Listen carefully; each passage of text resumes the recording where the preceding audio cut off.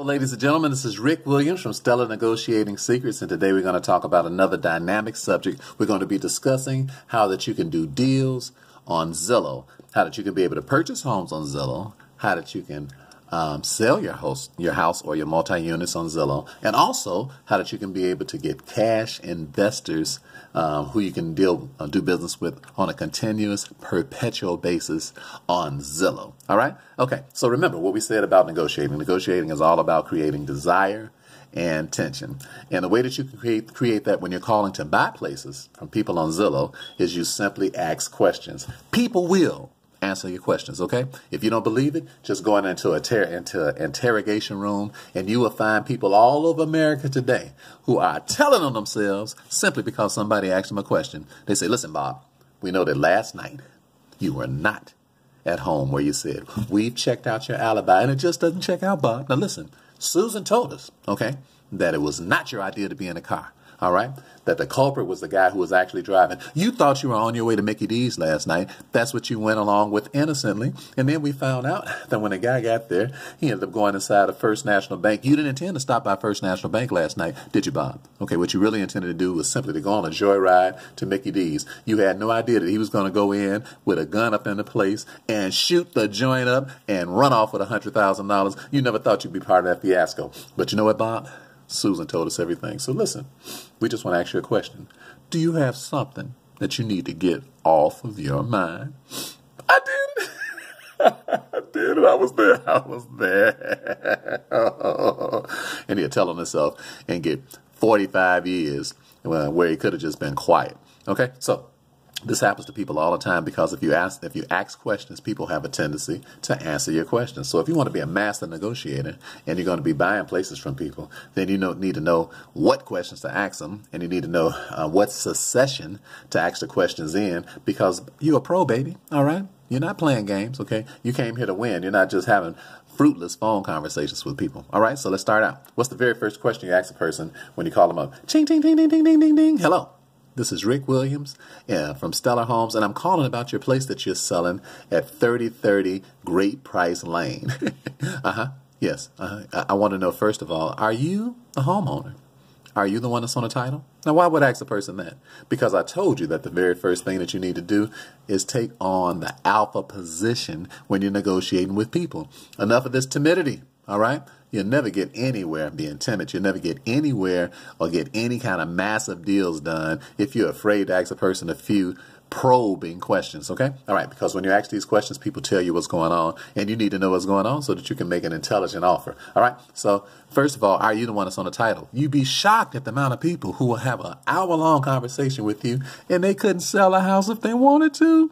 They're not even there. Power is another one of the P's of negotiating, okay? Posture, power, position. All right. So you have to make sure that you maintain the alpha position by asking these questions. These questions help you to switch positions with the person that's selling the house. All right. So are you the one that's on the house? Yes, sir, Mr. Rick. I am the one that's on the house. Wonderful. All right. Uh, and uh, who is your mortgage holder? My mortgage holder. Yes, who is your mortgage holder? If they don't want to answer the questions, this is not a prospect, okay? All right, you need to know who their mortgage holder is because you just want to know if they have a mortgage. That's the question. That's the reason for the question, all right? So they will tell you because you're asking questions and they will they'll let you know. It is Chase. Chase is the one that's the mortgage holder. Okay. So what is the balance on your place right now? The balance on my place, what an intrusive question is $69,000. They'll tell you, okay? If they don't want to tell you this, then you can let them know that this is really public knowledge. I'm just trying to expedite the issue so I can make you a, an offer. What you're really trying to find out is what's the story behind them selling this house because people will tell you your story if you simply inquire. All right? So my balance is 69000 Okay, what can you tell me about your place um, that I don't know, that I don't see here on Zillow? Um, what's really going on with your place? Now, people will really, really go in right now because they're trying to sell you. So they'll tell you everything that they about their place. Oh, it's got a three, it's three bedrooms and two baths, and um, it's got a delightful sun deck. And when you just sit out on the back porch and just look over the river when it glimmers in the morning, it is a thing of beauty. We just re- recently up, upgraded the um, garage. We had just recently upgraded the roof. We I put in a, a furnace ten years ago, and it's still beautiful, just like it was ten years ago when I first put it in. Of course, it's old and, but and raggedy, but they're going to tell you everything that they can to to uh, make that place look good to you. All right. So when they get done with all of that, your next question is: Is is there anything that I need to know? What kind of repairs do you have? All right. Is there anything I need to know about your place that it just isn't written right here? And then they'll tell you uh, if it's something that needs to be, you know, happen. Well, my sister did break the back porch yesterday. I didn't know you was going to ask me that, but my sister did break the back porch yesterday, and yes, um, it does need some work on this concrete over here, and yes, and yes, and yes. So now you can find out. Now what you're creating is again is desire, because when you ask a person about their place, they light up like a Christmas tree. So all this and all this does is give you a good social interaction with the person because there's a few things down the road that you might be able to do with this person that might not have, even have anything to do with the house. Okay, so you find out from them if, if it's anything that needs to be fixed, and then you go into the series of questions about the home itself and about um, this interaction with you trying to actually purchase it. Okay, if in fact you might purchase it. Now, talk to everybody on Zillow that's selling their own house. All right. And the reason I'm telling you to do this is because two things are going to take place. Either you're going to buy this house or you'll find out if this person has more places to sell. I, I take that back, not just two things, you'll find out a myriad of things. You might buy this place. You might find out if they have more places that they want to sell, or you might find out if this is what they really do and that they want to buy some more houses from you. Okay? All right? Because if you take my training, you'll have an extensive, I have at least um, what 2,000 houses around the country that I'm selling right now, and we and, and you'd have to go into my training to learn how to be able to get all of that. But the bottom line is that if you want to sell places and you want to sell them clear across the world, you need buyers. Okay, and one easy way to get buyers is just to get the person that's selling that house to buy some more from you. Okay, and one person might buy ten houses from you before the um, before the year is over with if you have some extensive inventory. All right, so that's this is a twofold meaning for having this conversation. All right, we want to find out if they want to if we can really buy their place, and we want to find out if they want to buy others. So let's get through trying to buy their place first. All right, so the first question that you ask is, so how much are you looking to get for your place? All right. It's on Zillow, ain't it? Didn't you just read it? No. Somebody might be a smart aleck like that. but typically, they'll answer your question, okay? So uh, I was just I was just trying to get about um, you know, a hundred thousand for it. Okay, so you wanted a hundred thousand for your place. All right, is that price flexible? Uh yeah, is it flexible? You mean flexible like um, you know, like flexible like touch your toes flexible or flexible like you're doing a Chinese split? What kind of flexible are you talking about? uh, so they'll answer your question. They'll let you know if it's flexible. All right. So you say, okay, so a hundred thousand. So that is flexible. So if I can offer you cash and we can close really quickly, um, what's the best you could do? Cash? Did you say cash? Benjamin's cash? Yes, Benjamin's cash. If I can offer you cash and we can close quickly, what's the best you can do? Well, let's see. Uh, I, you know, I probably can do. I probably can do. If you, are talking about cash now, we can close, close real quick. I probably could do ninety thousand. Okay. Okay, can you do any better than that? All right. Most people can't take, listen to me good. Five or six questions back, back, back to back will make you a multimillionaire, a multimillionaire, and make your kids' kids rich too in the society that we live in because most people sweat up under pressure. All right. I, I remember one time I was asking a guy this stuff. He said, Man, are you a lawyer? and I was just asking them a, ser- a series of questions. I asked the same questions to everybody. Okay, all right. So don't start making up your own stuff. Ask them the questions I'm telling you to ask them, and that's how you'll be. Um, that's how you'll be able to close deals at a mammoth rate. Okay, all right. So here we go. So um, if I was able to, to, pay you cash and we can close really good, um, uh, what's the best you can do? I, I don't know. I, cash and, and we can close really quick. Maybe about maybe about I'd say about eighty thousand. All right, you, you can't do any better. Can you do any better than that? All right, so keep the pressure on. And you're keeping the pressure on with just questions that are just coming like real natural, just right during the process. Okay. So the first question again was what? Uh-huh. Uh, the first question was yes. So uh, what are you looking to sell a property for? The second question was, was is that price flexible? The third question is is can you do any better than that? All right. And then they say, um, um, it, um, the third question was, I'm sorry, was if I was able to pay you cash and we can close really quickly, um, what's the best you can do? And then after they say what the best they can do is, you say, can you do any better than that? So the best I can do is, I, if you pay cash, I can do about eighty thousand. You know, well, what, uh, you know, uh, uh, if, if uh, can you do any better than that? Okay, okay, okay. What I really want is seventy-five thousand dollars. Because because look, look, I got this child support to pay. All right, and if I don't pay this child support, I'm gonna be up a creek without a paddle. If you give me seventy-five thousand, you take care of all my problems, and I'll be in like Flint, and me and you ain't gonna have to discuss nothing else. Uh, that's all. Seventy-five thousand. That's the best I can do. Okay. All right. So people get tell you their story, which is what you're after. All right. So now they they've gone from a hundred thousand to seventy five thousand dollars just just from a series of questions. It happens every day. I do it every day. Okay, I'm telling you what happens. I'm telling you what works. Okay, so they'll come down and tell you what their real price is because it's almost never what they have on the on the sheet there. They just put a price up, and um, so then I, I asked them this question. I said, if you don't mind me, you know, I said seventy five thousand. Okay, so let me ask you this: if you um, don't sell your property, what do you intend to do? Well, if I can't sell it, I don't know what I'm going to do. Probably going to jump out a window because I need to get rid of this place right now. I got two mortgages right now I'm paying. I don't need this house. It ain't nothing but a burden on me. I, I inherited from my sister, and um, and and and um, you know, it ain't been nothing but trouble and everything. I'm tired of fixing up places and all that. I ain't in the real estate business. So then you'll find out what's really going on with the person. Okay, you'll find out they and they, or they may say, well, you know, um, this place is um, just one of a myriad of places that I have, you know. And if I if I can't sell it, I'm simply going to rent it out. Okay. And then they'll open up the door for you to find out the fact that they actually do this for a living. Okay. Now, so let's say that you come to the conclusion that $75,000 is good and you simply buy the house. Okay. Wonderful. Oh, or let's come to the conclusion that their price is too high and you can't, um, and, and, and this is not a good deal for you. All right. The thing about negotiating is that you don't have to do a deal with everybody. Okay. Every single situation is just not good for you. All right. So when that's the case, you got to be willing to walk away. And when you're willing to walk away, people, um, have a tendency to chase you. Okay? So, or this is just a relationship that you can be establishing with this person so that you can continue at a later date with uh, another house that they have, or perhaps they want to buy one of yours. Okay, so let me give you a real case scenario with a gentleman um, who who did business who does business with me on a regular basis, named Jason. Okay, I had this conversation with Jason. I said, Jason, I said, listen, the house that you're selling right now, I said that's I said, you really just want the market value for it because you fixed it up, and right now you just want to sell it for retail value. Is that right? He said, yeah, that's true, Rick. I said, okay, great. I said, I appreciate that. I said, is this what you do for a living? He said, yes, I do. He said, I buy homes and fix them up all the time. I said, awesome, because, you know, I happen to have a whole lot of inventory. He said, you do? I said, yes, I do. I said, you know, this is what I do. You know, so I got several places that I, that I have for sale below market value now, and chances are you can make money off of them if you want to fix those up.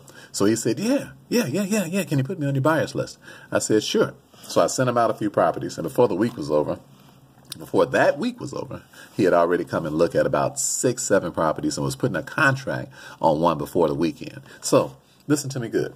If you want to buy property from people on Zillow, and they and that deal doesn't work out, you can sell them all of your property. All right? Because I buy and sell property clear across the country every week never spent a dollar on any of my property. Okay, all I ever do is just um, buy the properties from my systems that I get them through, and then I sell them to people. But you have to know how to talk to people when you get a person's attention. Okay, because um, you can't avoid that. Eventually, you're going to have to have a phone conversation with folks face to face, and you're going to have to know how to talk. You're going to have to know how to position yourself, how to posture yourself, and how to make sure that you're talking to the person with the power. All right. Okay, so now um, you're selling your place on Zillow. So now you've got to use the same type of techniques when you're selling your place to make sure that you get your desired price as you were using when you were trying to buy a buy a place to get your desired price. Okay, all right. So let's go over what happens when a person calls you. Now I've got a lot of property, and, um, and when I post them on Zillow, people call me all the time, and people are always trying to use techniques to be able to get my property at their price. But how are you going to use a technique on the technician? All right.